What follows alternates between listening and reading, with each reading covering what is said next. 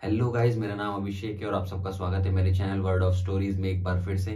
आज मैं आपके लिए लेके आया हूँ एक और नई स्टोरी आज की जो स्टोरी होने वाली है, वो मुझे मेरे जीमेल पे एक कोई राहुल करके हैं, उन्होंने स्टोरी शेयर की है मुझे। तो मैं वो आपको आज ये स्टोरी बना, बताने वाला हूँ और ये स्टोरी जो है वो नोएडा के पास एक गाँव की होने वाली है। रास्ते में जो गाँव पड़ता है, उसके बारे में ये स्टोरी होने वाली है। चार दोस्त होते हैं स्टोरी शुरू करने से पहले अगर आपने वीडियो को लाइक नहीं किया है तो वीडियो को लाइक करें, चैनल को सब्सक्राइब करें। बेल आइकन ज़रूर दबाएँ, अपने भाई को इंस्टाग्राम पे फॉलो कर लें। तो चलिए शुरू करते हैं। तो चार दोस्त होते हैं, राहुल, रौनक, सृष्टि और दिव्या। ये चारों जो है नोएडा के साइड जा रहे होते हैं घर से अपने। तो रास्ते में इनकी गाड़ी जो है वो खराब हो जाती है।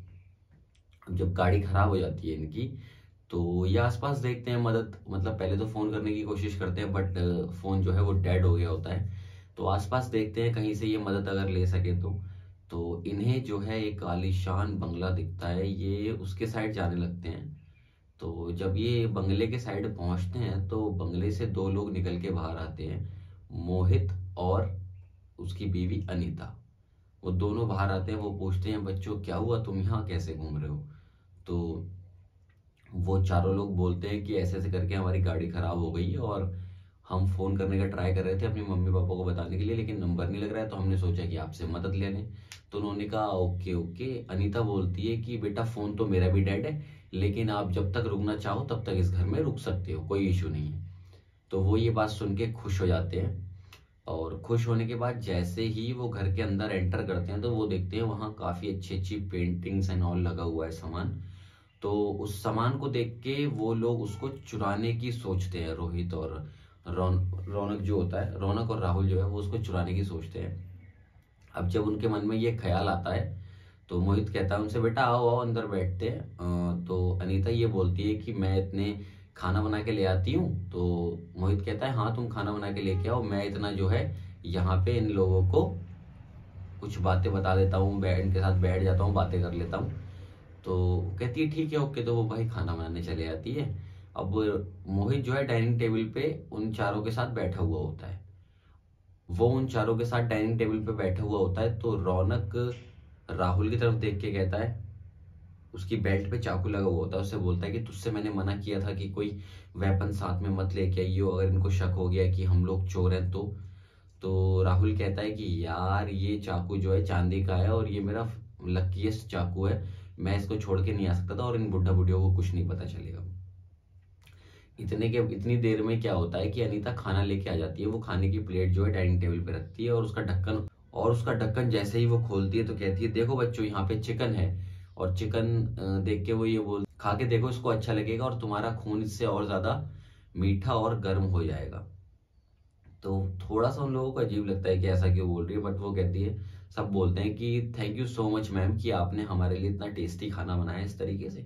खाना वाना खा लेते हैं, वो खाने के बाद मोहित ये बोलता है कि मेरा घर बहुत बड़ा है और यहाँ पे काफ़ी दिन बाद कोई रहने आया है तो तुम चारों आराम से अलग अलग रूम ले लेना कोई सा भी और उसमें आराम से सोना कोई प्रॉब्लम नहीं है, अपना ही घर समझे उसको। तो वो लोग ये बात सुन के बहुत ज़्यादा खुश हो जाते हैं और वो लोग आपस में डिसाइड करते हैं कि एक घंटे बाद एग्जैक्टली exactly हम मिलेंगे। और वो चारों अपने अलग अलग रूम में जाके सोने लगते हैं। एक घंटे बाद क्या होता है, रौनक अपने रूम से बाहर आता है और मोहित के रूम की तरफ़ जाता है तो वहाँ देखता है कि अकेला बेड पर जो है मोहित सोया हुआ होता है अनिता वहाँ नहीं होती है। तो रौनक सोचता है कि ये तो और भी अच्छी बात है कि मोहित अकेला सो रहा है, ये दोनों अलग अलग सोते हैं, अब चोरी करने में आसानी रहेगी। तो वो चुपके से दबे पैरों से उसके घर, कमरे में अंदर घुस जाता है मोहित के। और अलमीरा होती है, पास में एक रखी हुई, अलमीरा को खोलने की कोशिश करता है। बट उसमें ऐसा लगता है कि जैसे लॉक लगा हुआ है। और वो मुड़ के देखता है तो मोहित के गर्दन के पास एक चाबी रखी हुई दिखती है उसे सिराने पे। वो उस चाबी को उठाने के लिए जैसे ही हाथ बढ़ाता है, एकदम उसका हाथ मोहित पकड़ लेता है। और रौनक एकदम डर जाता है। और ऐसी क्रीपी सी हँसी देता है वो मोहित। लेटे लेटे डरावनी बहुत ज़्यादा। फिर जैसे ही वो अपनी आँख खोलता है, उसकी आँखों का कलर बदल जाता है भाई।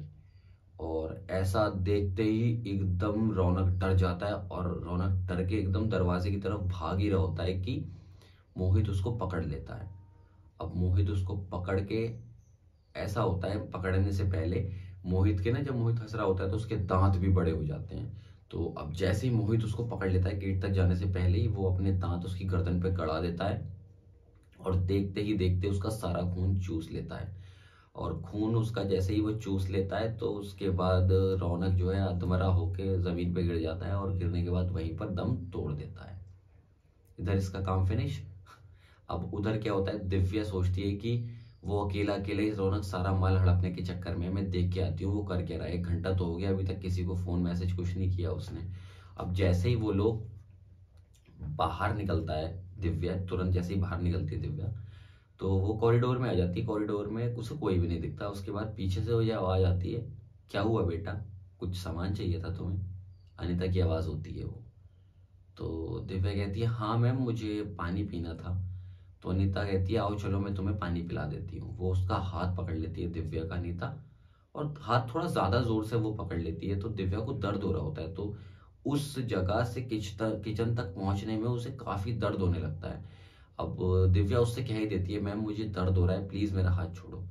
तो वो उसका हाथ छोड़ने की बजाय और टाइट पकड़ लेती है और अनिता जैसे ही उसकी तरफ़ देखती है, भाई, उसकी भी आँखें लाल, दांत बड़े भूतिया मुँह हो जाता है। ये देख के उसकी चीख निकल जाती है एकदम। चीख निकलती है तो फिर कहाँ वो छोड़ पा रही थी? वो छूटती नहीं है, वो उसका हाथ यूँ करके ऊपर उठाती है, वहीं दांत मारती है हाथ उसका यूँ करके ऊपर उठाती है, वहीं दांत मारती है और वहीं से उसका खून चूसना स्टार्ट कर देती है। वो भी खून चूस लेती है तो जब अधमरी सी हो जाती है दिव्या तो वो उसको छोड़ देती है और जैसे उसको छोड़ती है तो वो भी नीचे गिर के दम तोड़ देती है। अब दूसरी साइड क्या होता है? सृष्टि अकेला लेट नहीं पाती है तो सृष्टि जो है राहुल के कमरे में चले जाती है लेटने के लिए। तो वो दोनों साथ बैठे हुए हैं, वो दोनों सोचते हैं, यार, इतनी देर हो गई, इन दोनों में से तो ना किसी का फ़ोन आया, ना मैसेज आया अभी तक, पता नहीं क्या बात है। उधर क्या होता है? मोहित जो है मोहित और उसकी वाइफ अनीता, वो दोनों जो है, उनके कमरे में आ जाते हैं और हंसने लगते हैं बहुत तेज तेज। कहते हैं कि कोई भी नहीं बचेगा आज। तुम दोनों मरोगे। तुम दोनों का खून बहुत मीठा है। हम तुम दोनों का खून पियेंगे। बहुत दिन बाद इतना ताज़ा खून पीने को मिला है। ये बात सुन के और उनका डरावना पिशाच वाला रूप देख के वो लोग बहुत डर जाते हैं। सृष्टि डर के एकदम राहुल के पास आ जाती है। अब क्या होता है, वो दोनों उन पे झपट्टा मारते हैं। मोहित झपट्टा मारता है राहुल पे। अब क्या होता है, जैसे ही राहुल को लेके बेड पे गिरता है ना तो उसका हाथ गलती से उस चांदी के चक्कू पे टकरा जाता है, जो राहुल का चक्कू सिराने रखा हुआ होता है। वो एकदम झटपटा के डर के दूर हट जाता है। राहुल इतने में समझ जाता है कि ये एक पिसाच है और पिसाच जो है, वो चांदी से डरते हैं। तो वो अपना चाकू उठाता है और उसकी तरफ़ पॉइंट करता है, मोहित की तरफ़। मोहित डर जाता है एकदम। उधर वो देखता है कि वो उसके दांत गड़ाने ही वाली होती है, सृष्टि के, उसकी बीवी। वो उसके भी कमर पे चाकू मार देता है। अब चाकू मारता है तो वो तड़पती हुई दूर पीछे गिर जाती है थोड़ा और उसके बाद उसके शरीर के अंदर से नीला खून निकलने लगता है और वो गिरते गिरते वहीं दम तोड़ देती है, वहीं मर जाती है वो। ये देख के मोहित को बहुत गुस्सा आता है और उधर वो राहुल जो है सृष्टि को लेके बाहर निकलने लगता है, भागने लगता है बहुत तेज तेज तेज। जैसे ही भाग के वो मेन रोड पे पहुँचता है, मोहित जो है वो एकदम उनके सामने आके खड़ा हो जाता है। मोहित सामने आके खड़ा हो जाता है और बोलता है कि तुमने मेरी अनीता को मारा है, अब मैं तुम्हें नहीं छोड़ूँगा, किसी भी कीमत पे। और वो एकदम से राहुल का हाथ पकड़ के मोड़ देता है तो चाकू जो है उससे दूर जाके गिर जाता है और सृष्टि को धक्का देता है, सृष्टि भी गिर जाती है। और वो एकदम से जो है राहुल के मुँह पे अपने नाखून मार के उसे घायल कर देता है और उसके अपने दांत जो है उसकी गर्दन पे लेके ही आने वाला होता है, कि इतनी में सृष्टि चलाकी करती है, चक्कू उठा के उसकी गर्दन पे चला देती है मोहित की। मोहित भी तड़पता हुआ गिर जाता है पीछे को। आ, करता हुआ बहुत तेज चिल्ला रहा होता है वो। तड़प रहा होता है, तड़पते तड़पते नीचे गिर जाता है, उसके अंदर से भी जहरीला नीला खून निकल रहा होता है और निकलते निकलते वो मर जाता है। उसके बाद राहुल कुछ नहीं सोचता, एकदम सृष्टि को लेता है और भाई भागते चले जाते हैं वो दोनों, जैसे तैसे वहाँ से निकलते हैं। निकलने के बाद फिर वो ये लोग डिसाइड करते हैं कि आज के बाद कभी भी वो चोरी नहीं करेंगे भाई। वीडियो को लाइक करें, चैनल को सब्सक्राइब करें बेल आइकन ज़रूर दबाएँ और अपने भाई को इंस्टाग्राम पे भाई फॉलो कर लेना।